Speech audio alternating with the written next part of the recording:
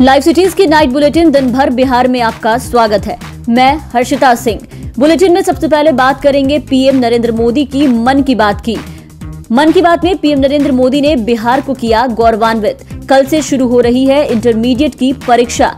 बिहार में कम नहीं हो रहे अपराध डबल मर्डर से सहमा नालंदा। दो सगे भाइयों की, अपराधियों ने की हत्या और पटना के बाढ़ में सब इंस्पेक्टर को मारी गोली, पीएमसीएच में एडमिट। बढ़ते क्राइम पर घिरी डिप्टी सीएम रेणु देवी, तेजस्वी ने नीतीश पर साधा निशाना। न्यूज़ बुलेटिन में आगे है, मंत्री रामसूरत राय ने लगाया जनता दरबार। वीटीआर में बाघ की मौत से प्रशासन हैरत में। मुजफ्फरपुर में लाखों की चोरी, साथ ही जिलों की अन्य खबरें हैं और अब खबरें विस्तार से। सबसे पहले गुड न्यूज़। बिहार आज फिर गौरवान्वित हुआ है। प्रधानमंत्री नरेंद्र मोदी ने बिहार को अपने मन की बात में महत्वपूर्ण जगह दी है। उन्होंने सिवान की बेटी प्रियंका पांडे और मुंगेर के लाल जयराम विप्लव की खुलकर तारीफ़ की, दोनों की भूरी भूरी प्रशंसा की। प्रियंका पांडे ने राष्ट्रपति डॉक्टर राजेंद्र प्रसाद की जन्मभूमि तो जयराम विप्लव ने तारापुर के शहीदों के प्रति ध्यान आकृष्ट कराया। दोनों ने नमो ऐप पर पीएम नरेंद्र मोदी को संदेश भेजा था, जिसे पीएम ने काफ़ी गंभीरता से लिया। आज जब मन की बात का प्रसारण हुआ तो इसमें पीएम नरेंद्र मोदी ने सिवान की प्रियंका और मुंगेर के जयराम की प्रशंसा करते नहीं थके। साथ ही पीएम ने तारापुर में हुए शहीदों को नमन किया।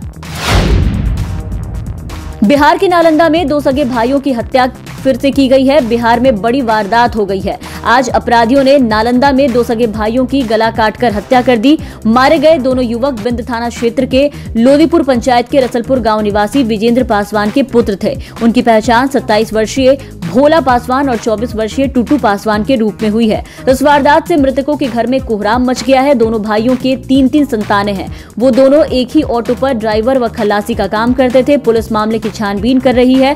किसी की गिरफ्तारी फ़िलहाल नहीं हुई है। पटना में अपराधी नहीं मान रहे हैं। वो क्राइम पर क्राइम करते जा रहे हैं। इंडिगो मैनेजर रुपेश सिंह की हत्या के अब तीन सप्ताह होने को है, लेकिन अब तक कोई ठोस नतीजा सामने नहीं आया। इसी बीच बाढ़ में अपराधियों ने पुलिस वाले को ही इस बार निशाना बना लिया है। अपराधियों ने सब इंस्पेक्टर विनय कुमार सिंह को गोली मार दी। उन्हें गंभीर रूप से पीएमसीएच में इलाज के लिए एडमिट कराया गया है। घटना के समय विनय कुमार सिंह बाढ़ स्टेशन परिसर में यात्रियों की सुरक्षा के लिए तैनात थे। तभी वहाँ मौजूद तीन बदमाशों में से एक ने उन्हें गोली मार दी। इसके पहले बदमाशों ने सब इंस्पेक्टर की बहस भी हुई थी। बिहार की डिप्टी सीएम रेणु देवी आज मीडिया के सवाल पर खुद ही गिर गई। उन्होंने अपने ही सरकार पर निशाना साध दिया। दरअसल, बाढ़ में सब इंस्पेक्टर को अपराधियों ने गोली मार दी है और इस पर पटना में डिप्टी सीएम रेणु देवी से मीडिया ने सवाल कर दिया।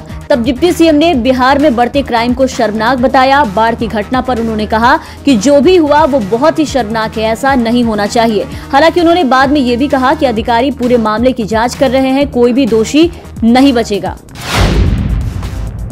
बिहार में बढ़ते क्राइम को लेकर के एक बार फिर विपक्ष ने एनडीए सरकार को घेरा है। बाढ़ में सब इंस्पेक्टर को गोली मारे जाने की घटना के बाबत नेता प्रतिपक्ष तेजस्वी यादव ने मुख्यमंत्री नीतीश कुमार पर सीधा हमला बोला है। साथ ही डिप्टी सीएम रेणु देवी के शर्मनाक वाली बयान पर भी चुटकी ली है। नेता प्रतिपक्ष तेजस्वी यादव ने ट्वीट कर कहा कि बिहार की उप मुख्यमंत्री अपने ही मुख्यमंत्री पर सवाल उठा रही है और कह रही है कि बहुत ही शर्मनाक। माननीय मुख्यमंत्री जी, आँखों में कुछ पानी बचा है कि नहीं? नालंदा के बिंद में दलित दो भाइयों की हुई नृशंस हत्या को लेकर के लोजपा ने भी नीतीश सरकार पर निशाना साधा है। लोजपा के प्रवक्ता संजय पासवान ने कहा है कि सीएम नीतीश कुमार राज्य में दलितों को सुरक्षा प्रदान करने में पूरी तरह से अक्षम साबित हुए हैं। गृह विभाग मुख्यमंत्री के पास ही है, लेकिन पूरे प्रदेश में अपराधियों का तांडव जारी है। आए दिन हत्याएँ हो रही है, जनता सहमी हुई है। उन्होंने दोनों मृतकों के परिवार के एक एक सदस्य को सरकारी नौकरी तथा 25-25 लाख रुपए की आर्थिक मदद देने की मांग की है।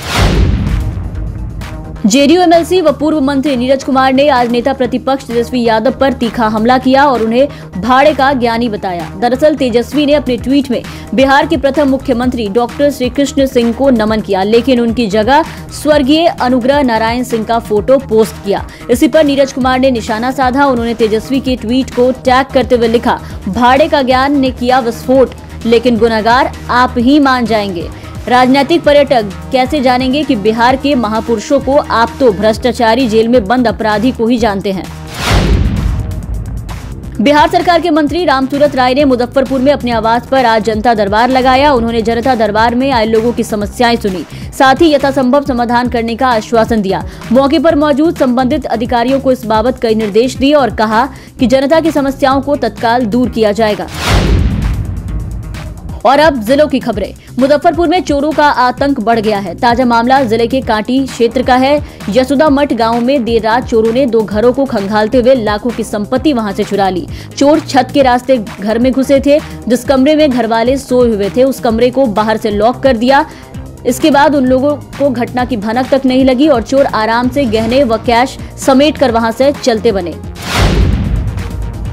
पश्चिम चंपारण में काफ़ी फ़ेमस जगह है वीटीआर यानी कि वाल्मीकि टाइगर रिज़र्व ये बाघों के लिए सबसे मुफीद जगह माना जाता है, लेकिन यहाँ रह रहे एक बाघ की मौत हो गई। इससे वीटीआर प्रशासन हैरत में है। खास बात यह है कि दो दिन पहले ही यूपी में बाघों की सुरक्षा को लेकर देश के सभी टाइगर रिज़र्व के क्षेत्र निदेशकों की बैठक हुई थी।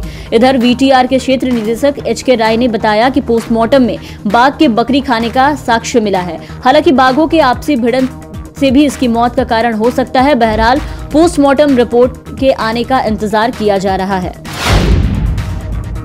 और अंत में है शिक्षा की खबरें। कल से इंटरमीडिएट परीक्षा का महायज्ञ शुरू हो रहा है। एक फरवरी से शुरू होने वाली ये परीक्षा आगामी 13 फरवरी तक चलेगी। इस बार इसमें लगभग साढ़े तेरह लाख परीक्षार्थी शामिल होंगे। खास बात यह है कि शीतलहरी को देखते हुए बिहार बोर्ड ने परीक्षार्थियों को जूता मोजा पहनकर आने की छूट दे दी है। बोर्ड ने साफ़ कहा है कि ये नियम सिर्फ़ इस साल के लिए बदला गया है। हर ज़िले में चार चार मॉडल परीक्षा केंद्र बनाए गए हैं। परीक्षार्थियों को कोरोना गाइडलाइन का पालन करना होगा। परीक्षार्थी मास्क लगाकर और हाथ सैनिटाइज करके ही परीक्षा केंद्र पर आएँगे।